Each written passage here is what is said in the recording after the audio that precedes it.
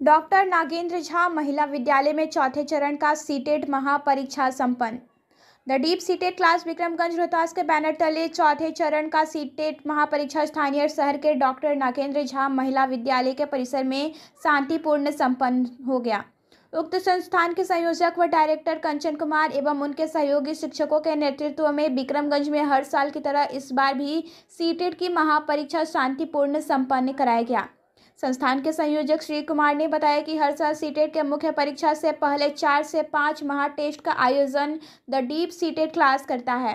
कंचन कुमार के साथ संस्थान के संचालक और प्रबंधक रितेश कुमार के मार्गदर्शन में इस परीक्षा का आयोजन डॉक्टर नागेंद्र झा महिला महाविद्यालय विक्रमगंज में संपन्न हुआ। राज ने बताया कि इस महापरीक्षा में लगभग 400 से ऊपर आगामी सीटेट की परीक्षा में शामिल होने वाले अभ्यर्थियों ने भाग लिया।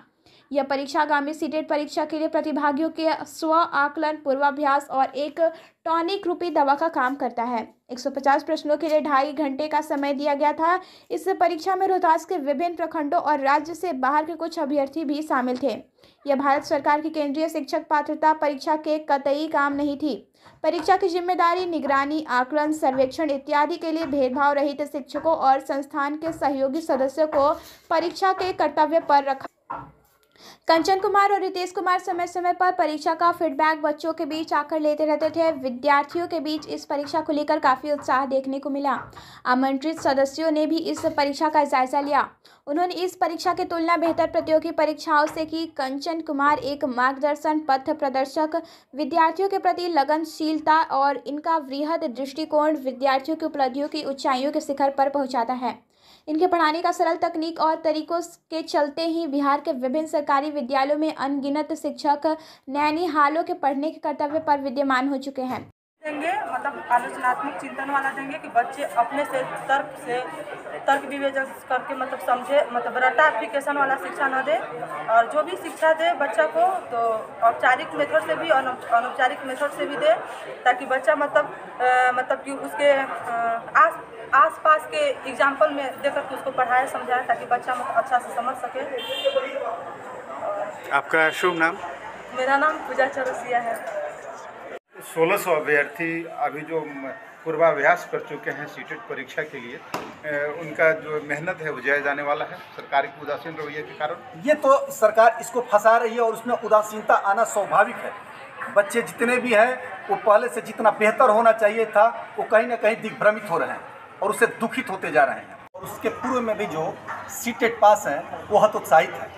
कारण है कि एक लंबे अरसों के बाद अभी तक उन लोग को एक शिक्षक के रूप में एक स्कूल में होना चाहिए था, जो आज भी दर दर के ठोकर बेरोजगारिता में इधर उधर भटक रहे हैं। वो ऐसा स्थिति है कि किसी का शादी भी नहीं हो रहा है। लड़की भी है जो सीटेट टेस्टेड पास है, वो सोचती है कि मेरा भी शादी एक बेहतर घर में हो।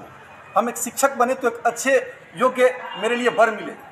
और एक लड़के भी वैसे हैं जो सी सीटेट टेस्टेड पास हैं, जिनको आज भी आत्मगलानी हो रही है, दुख हो रही है कि हम पढ़ लिख के भी समाज में हम किसी योग्य नहीं रह गए। यदि हम आज स्टेट पास करके कहीं विद्यालय में होते तो समाज में मेरा एक अलग स्थान होता कहीं एक अलग कुर्सी मिलती। और लोग मुझे एक मार्गदर्शक के रूप में, समाज को बेहतर बनाने के रूप में हमको लोग जाने जाते और आज हम दुखित हैं कि वैसे लोगों का जो पढ़ लिख के भी एम्प्लॉयड नहीं है, उनके घर में कोई शादी के लिए पूछने नहीं जा रहा है। और स्टेट पास वैसे भी अभ्यर्थी हैं, जिनका रिश्ता भी टूट गया। लड़की का भी रिश्ता टूट गया। वो लोग अंदर से द्रवित हैं, रो रहे हैं। और इसमें भी 2023 की जो अभी नोटिफिकेशन की बात हुई 2019 वाले इसी तरह लग रहा है कि आत्महत्या करने की स्थिति में उतारू है। और लग रहा है कि जिनका भी जो एक चलने की रफ्तार थी सीटेट तैयारी स्टेट की तैयारी, जो पुराने जिनका उम्र अब एक्सपायरी की स्थिति में है, वो लोग और उससे दुखित हैं। और सबों का अभियान जो है काफ़ी सराहनीय रहा है। इसमें 1600 अभ्यर्थी जो है एग्ज़ाम के लिए पूर्वाभ्यास कर चुके हैं, अब तक के आपके महापरीक्षा में। लेकिन सरकार के पक्ष से जो उदासीन रवैया है, जो अभ्यर्थी पास हो चुके हैं, उनके लिए क्या कहना चाहेंगे? तो सरकार का तो उदासीन रवैया है, लेकिन हम लोग अपना कर्तव्य निभा रहे हैं। स्टूडेंटों को यहाँ से जो बेहतर शिक्षा दिया जा रहा है, ताकि ये जो लोग जाएँ विद्यालय में तो कुछ नया क्रांति लें, नए तरीके से पढ़ाएँ, पारंपरिक तौर तरीका को छोड़ के और बिल्कुल खेल मेथड जो हम लोग को बी एड डी में बताया जाता है उस मेथड से नवीन शिक्षक पद्धति के माध्यम से पढ़ाएँ ऐसा हम लोग का प्रयास है।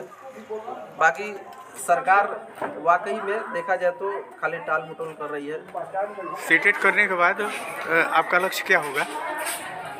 बस बच्चों में अच्छा भावना पैदा हो अच्छा शिक्षा मिले। बच्चे हमेशा औपचारिक समझ सके और समाज में विकास हो सके। सीटेट करने के बाद आपका लक्ष्य क्या होगा? बच्चों को अच्छे से पढ़ाना अपनी तकनीकी से जो बच्चों को समझ सके बच्चे हमको क्या समझते और जो शैक्षणिक व्यवस्था इसमें सुधार की क्या गुंजाइश हो सकती है? बच्चों के समान एक उनको उसकी ज़रूरतों को देखते हुए पूरा करना चाहिए। बच्चे अगर पढ़ने में कम है, कमज़ोर है तो उसके उसके हिसाब से उसको समझ के उसकी क्या परेशानियाँ हैं? पॉलिसी है, लोकतंत्र है, लोकतांत्रिक व्यवस्था है। जो सरकार में, जो लोग हैं सरकार को जो संचालन कर रहे हैं तो उनकी नीति निर्देशिका के तहत है। लेकिन सबसे बड़ी चीज़ है कि first deserve then desire. First deserve then desire. आप योग्य ही नहीं बनिएगा। एलिजिबल ही नहीं होइएगा तो उस मुकाम को आप पार कैसे कीजिएगा? तो ये जो आपको लेक्चरर बनने के लिए जेआरएफ है नेट है, उसी तरह से शिक्षक बनने के लिए सीटेट है एस्टेट है तो इसको यदि आप एलिजिबल होते हैं, तभी तो उस मुकाम तक जाएँगे। नहीं तो अपने मन अन में आप सोच लीजिएगा, अवसाद डिप्रेशन में हो जाइएगा कि साहब यहाँ सिलेक्शन होने से बहुत कम परसेंटेज में वाकई में लोग टीचर बन रहे हैं, जिनकी समाज में प्रतिष्ठा बढ़ रही है, जो वैल्यूएबल हो रहे हैं, धर्म, अर्थ, काम, मोक्ष, उनको प्राप्त होगा, मुझको नहीं प्राप्त होगा, इसलिए कि मैं उससे पीछे हूँ। मेरे अंदर धन समागम की कोई या शैक्षणिक रिकॉग्निशन नहीं है, मैं उस मुकाम तक नहीं जाऊँगा। तो अवसाद से ग्रसित रहिएगा, तब तो आप शिक्षक बनना तो दूर। अपने घरेलू, आप परिवेश में भी एक सक्षम, एक अभिभावक नहीं बन सकते हैं, एक अच्छे देश के लिए नागरिक नहीं हो सकते हैं। इसलिए इसमें निराशा की कोई ज़रूरत नहीं है। अब रही बात कोचिंग की। तो आपके बारे में, आप सबों के बारे में, और मैंने कोई बहुत बड़ा, आपको ये महाविद्यालय परिसर देकर बहुत बड़ा कोई ये थैंक यू वाला और धन्यवाद वाला कार्य भी नहीं किया है।